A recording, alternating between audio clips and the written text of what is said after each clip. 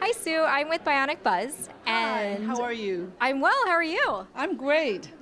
So, what we do over at Bionic Buzz is we talk about passion in hopes of inspiring other people. So, Yes. we want to know what are you passionate about? I'm passionate about everything. I'm passionate about life. I really love my life. I really have. It's been a great journey, and I'm really looking to my uh, third incarnation, my third phoenix rising, and it's going to be the most glorious chapter of all. That is so exciting. I can't even wait for that to happen. Yes, I mean, as an artist, I'm really a, um, a very impassioned creator, and I just really love to create. I live to really create beauty, and beauty is my passion. You know, beauty is my doorway into the divine, and I just really love everything about creativity and the flow and the power of it all. And, you know, most important, importantly, um, using beauty as a healing agent, which is what I really have done with my life and my creative work.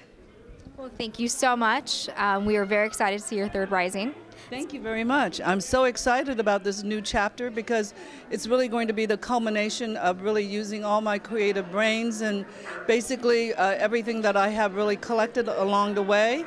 And I'm going to be using it for fashion as well as for architecture and in- interiors and, uh, you know, uh, basically lifestyle in general. So I'm really creating this whole Sue Wong lifestyle package, which is going to be a whole global happening. Thank you so much. Enjoy the reception, and we'll catch up with you very soon. Thank you very much. Okay, thank you.